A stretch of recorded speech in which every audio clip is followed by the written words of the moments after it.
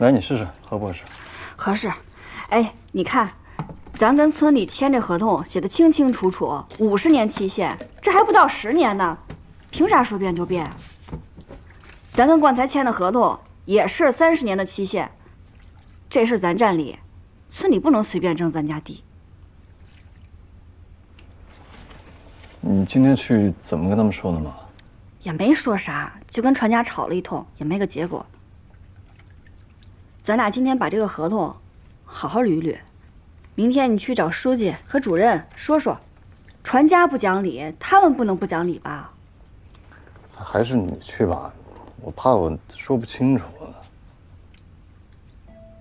你没事儿吧？你看看，你是乙方，你是咱家户主。这事儿得你出头露面。今天传家还拿这话挤兑我呢。哎，咱家不是不一样吗？咱妈不说了，咱们家你做主。咱们家是女主外，男主内。你瞅你那样子，你就不怕村里人笑话你啊？我怕啥呀？哎，我媳妇儿能干，那说明我有本事啊。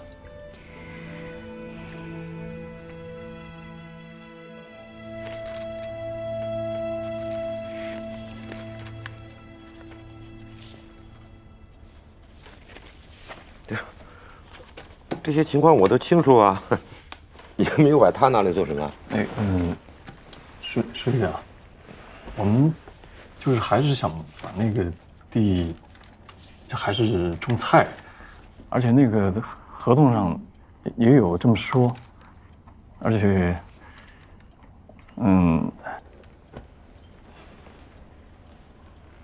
万书记，我们就是不明白，村里有那么多地。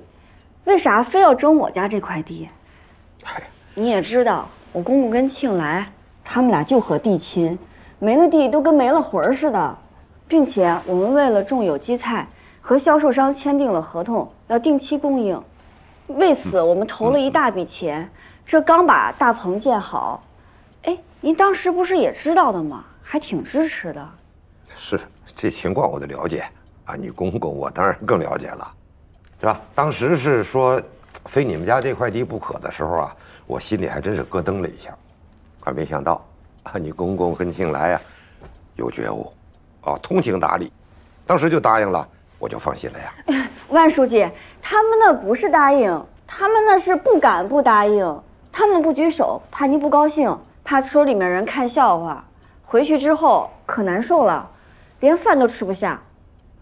所以我们这次来呢。也是想跟您再商量商量，为啥就不能再另换一块地？